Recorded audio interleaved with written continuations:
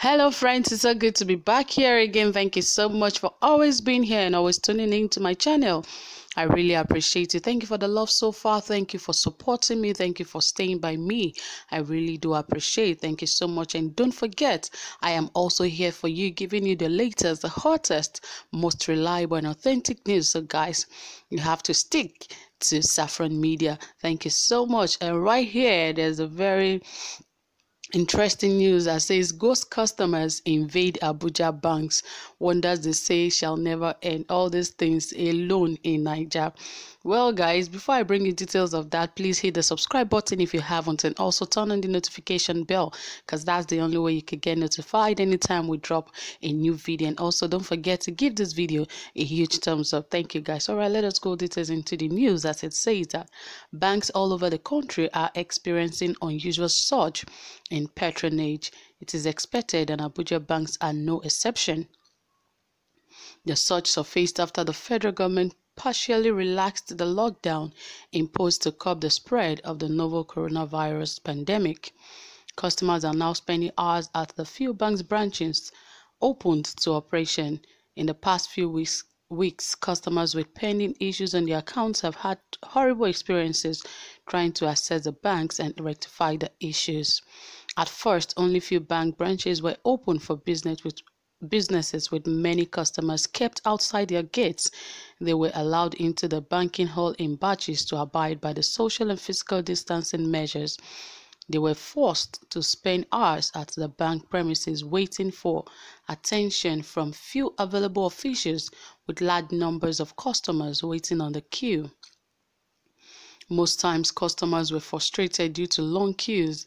Most of the customers told us and said that they had they had to leave their homes as early as 5 a.m. to avoid the crowds only to realize that they still fell under high numbers like from 100 and above even with very few people present in the bank premises. They suspected that security officials in the banks were involved in the racketing of numbers to ghost customers for some token. A bank customer, Joseph Ola from Kubwa, Abuja, told our correspondent that bank has become marketplace despite the social distancing order. He claimed that it was he claimed he claimed that it has it has now become difficult to gain entrance into banking halls without waiting for hours or using money for quick entry tallied number. Since the partial easing of the lockdown, banks have become totally different from what used to be, customers now sit under canopies outside to wait for their turn, which may not even come in a day, leaving them with the option to either buy quick entrance card or to come to the bank before 4 a.m. I had a problem with one of my accounts and was also asked to visit any of the branches to fix it. The day I went to one of the branches in Kubwa, a customer said by NNPC Junction, the kind of crowd I saw, I was even more than a, it was even more than a market square. I was very scared because of the COVID-19 pandemic, which government asked us to keep distance from one another.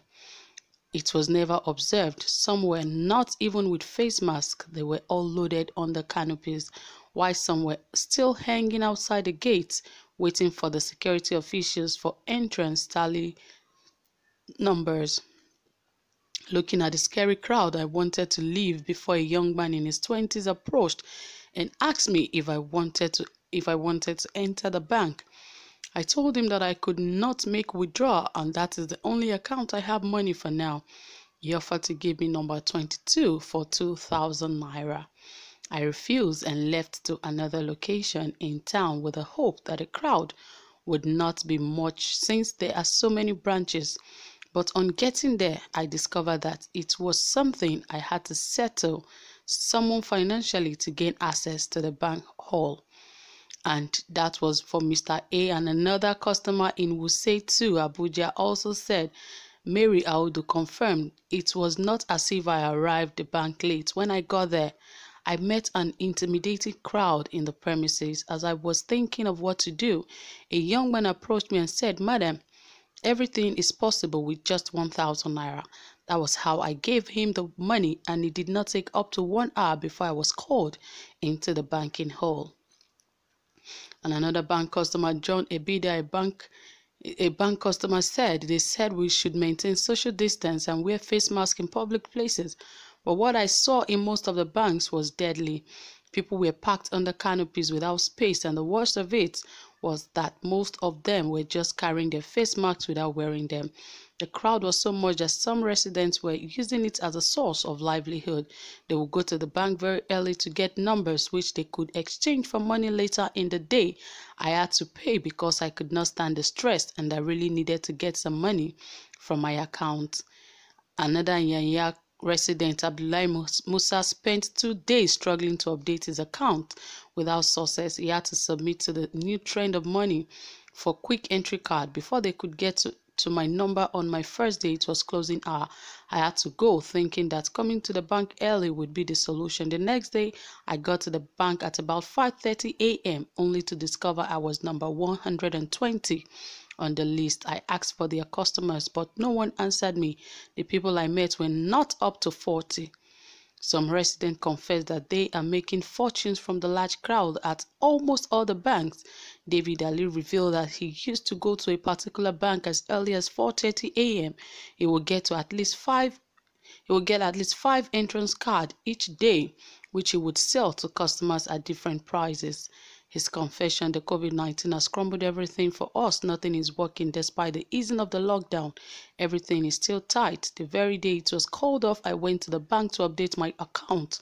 Seeing the crowd, I knew it would be a very good business opportunity if I could get some entry numbers and sell to desperate customers. On the first day, I made 2,000, but now I used to make more than 5,000 on daily basis, and the population is even increasing by the day.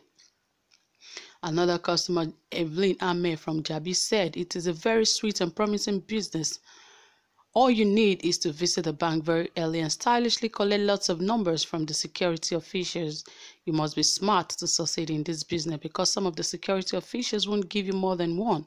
I don't operate only in one branch. If I am in this bank today, tomorrow, tomorrow I will move to another. I make more than 7,000 naira on a daily basis.